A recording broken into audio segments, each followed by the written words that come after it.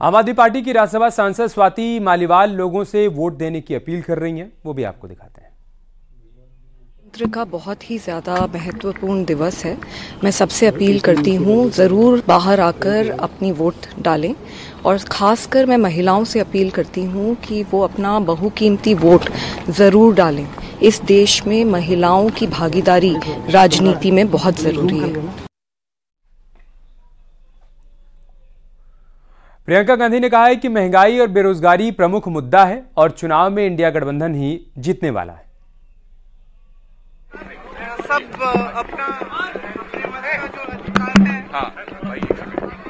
उसका इस्तेमाल करें और बदलाव लाएँ। मैम लगातार प्रधानमंत्री कह रहे हैं चार सौ पार उसको लेकर आप क्या कहेंगे? एक सेकंड चार सौ पार मुख्य नहीं है काफ़ी समय से कहा नहीं है उन्होंने।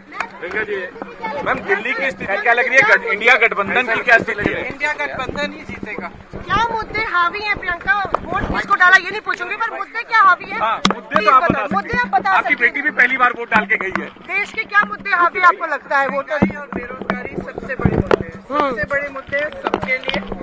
और सब चाहते हैं कि ये चुनाव उन्हीं अपने ही मुद्दों पर लड़ा जाए। सब चाहते हैं।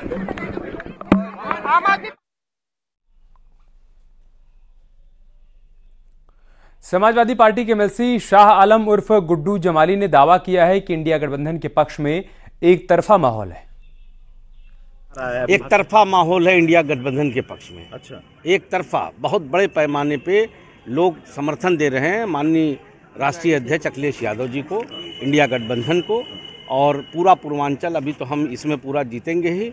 जो सातवां चरण आएगा आप देखिएगा कि उसका समापन हमारे पक्ष में हो करके और चुनाव का समापन अच्छा विपक्ष कह रहा है कि अमेठी रायबरेली में भी बड़ी अच्छी पोजीशन है हमारी। अब भैया वो क्या कह रहे हैं मैं नहीं जानता जो ग्राउंड रियलिटी है वो ये है जो मैं बता रहा हूँ।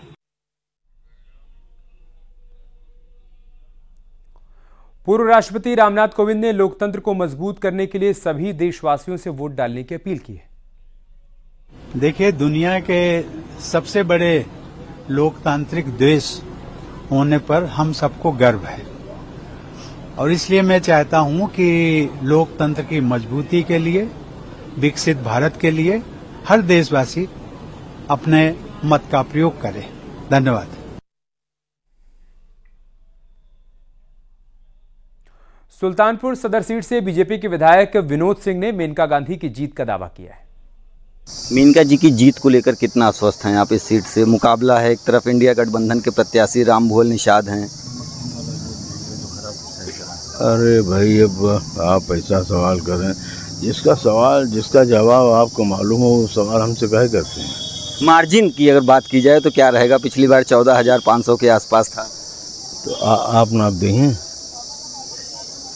आप बता दिए कितना है? नहीं कितना उम्मीद है क्योंकि जिस तरह से लगातार वो क्षेत्र में बनी रही हैं लोगों के इनका वही प्लस पॉइंट है।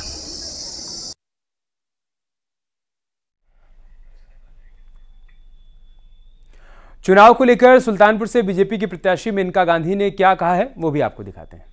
मैम वोटिंग को लेकर क्या लग रहा है? कितना परसेंट वोट रहेगा या क्या आप अपील कर रही हैं? क्या मालूम। आप वोटिंग के लिए क्या अपील करेंगी लोगों को कि वोट दे अच्छे से? क्योंकि अभी सब लोग वोट दे तो अच्छा हो। बड़ा लड़ाई भी है। कांग्रेस कह रहा है संविधान को बचाने की लड़ाई है। हाँ वोट सी ओके। चार जून को नतीजे आएँगे। लग रहा है पक्ष में रहेंगे बीजेपी के और आपके।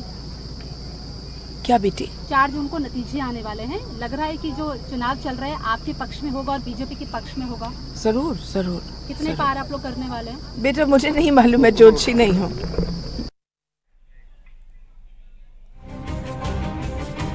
यहाँ रुक रहे छोटे से ब्रेक के लिए जल्द लौटे हैं कुछ और खबरों के साथ।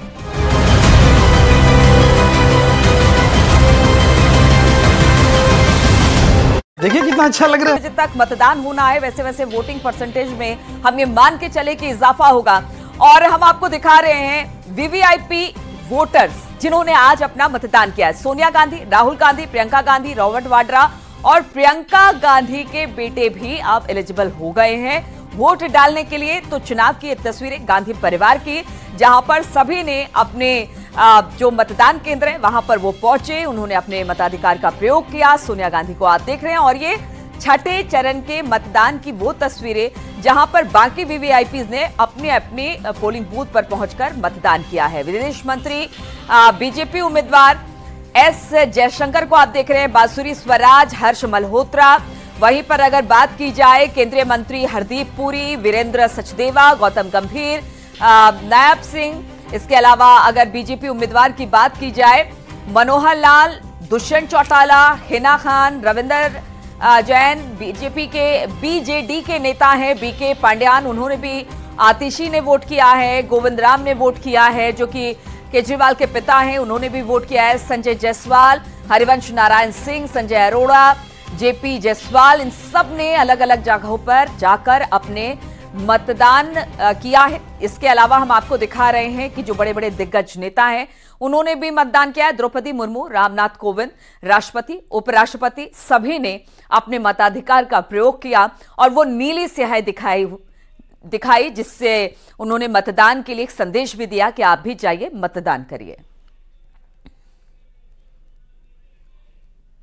और पूर्व कैबिनेट मंत्री सिद्धार्थ सिंह ने दावा किया कि बीजेपी गठबंधन इस बार 2019 में ज़्यादा सीटें जीतकर लेकर आएगी। बीजेपी के 400 पार के नारे पर अखिलेश यादव के बयान पर भी उन्होंने पलटवार किया।